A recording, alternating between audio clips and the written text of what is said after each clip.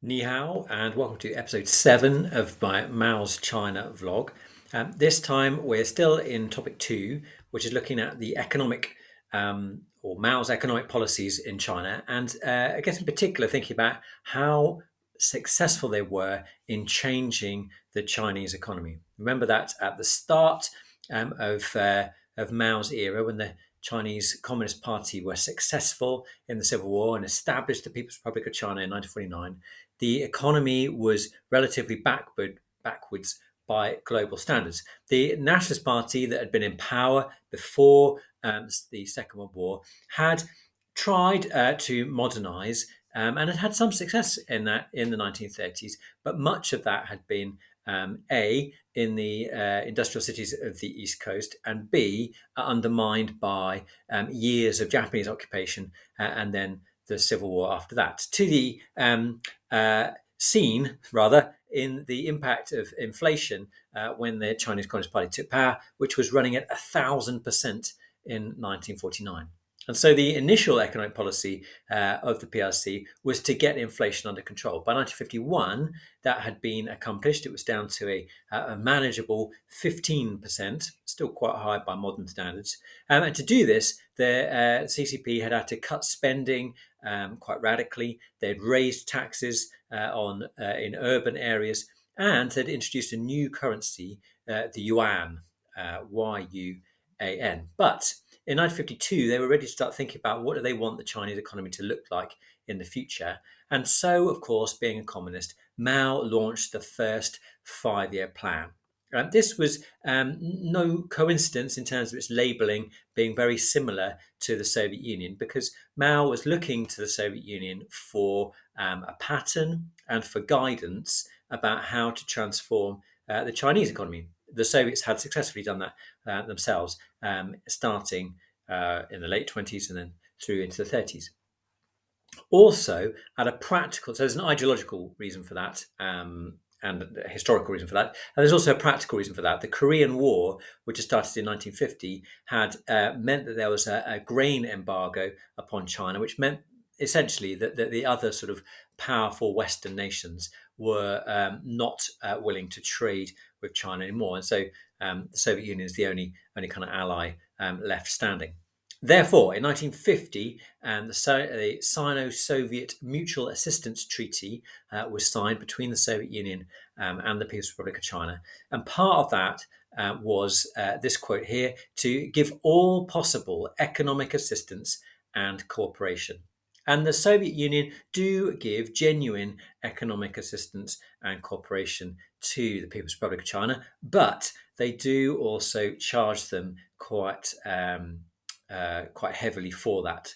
Um, the Soviets gave uh, the Chinese a loan of three hundred million dollars, uh, which needs to be uh, over five years, and that needs to be paid back with interest. However, they do also send eleven thousand experts to China um, to train and offer advice and technical help.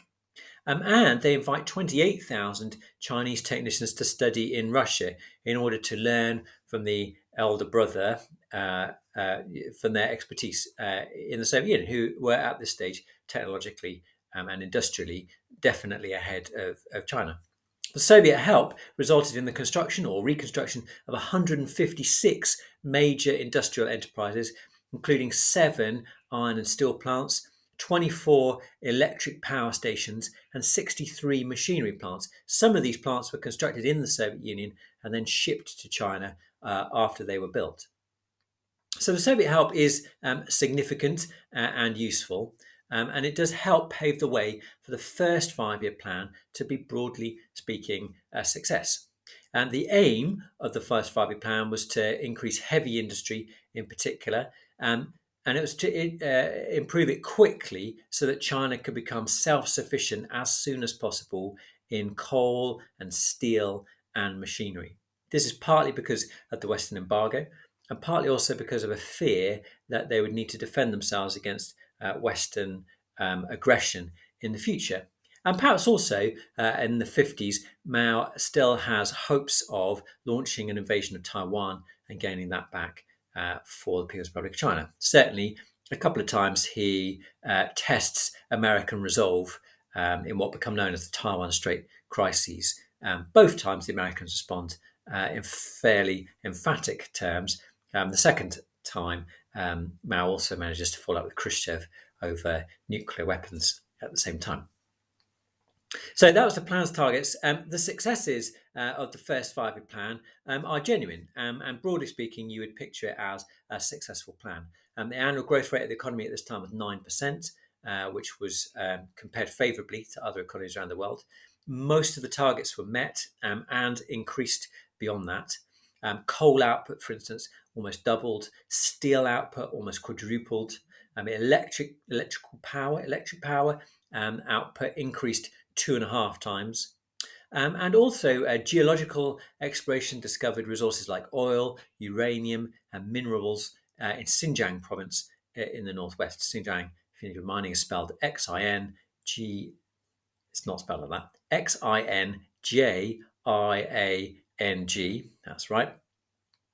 Um, the Mao also puts uh, forward several um, large kind of infrastructure um, projects like the bridge over the Yangtze at Wuhan, um, which was famously built during this period.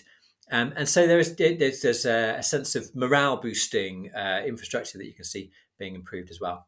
Um, living standards and job security. Living standards were improved. Job security was given to all workers. This is called the Iron Rice Bowl.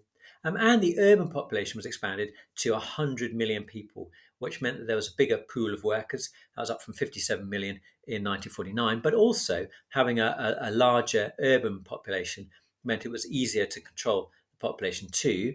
And um, so in this period, you also get the development of the um, putting the workers in Danwei, D A N W E I, which are kind of uh, groups, uh, factory groups, um, where they were given permits for welfare, travel, um, to get married. Um, it's a way of the, the Chinese Communist Party um, exercising social control over them. Um, nevertheless, there was also improved health and education and housing during this period as well. So, broadly speaking, a success. There were areas, though, which you would point to and say mm, that success is not universal uh, or complete. For example, quality was often sacrificed for quantity. And the targets of the five year plan um, were about output rather than uh, usefulness or, or, or uh, there were no sort of quality controls put on them. So that was what was measured and that was what was produced. And if it didn't work or broke quickly, that didn't matter to the producers. There was also a lack of coordination between industry and the planners, which led to problems within the um, the flow of work and, and, production in the economy, and bottlenecks in some places and um, lack of resources uh, in others. And that'll be familiar to those of you that have looked at Soviet um, economic history as well. Um, you'll see similar sort of problems there. Uh, it should also be noted that the Chinese workers had, at this stage in their history, low levels of literacy. Uh, and this was a longer term problem that if you're going to upskill um, the population, that their education needed to be improved. And so at this stage, um, work that could be done that was unskilled was relatively easy to get sorted out, but the more sort of technologically advanced um, aspects of, of work were harder to um, integrate into the Chinese economy. And uh, finally, the, the Chinese were having to pay so much to the Soviet Union, um, not just for their help, but also to pay off the debts of the Korean War.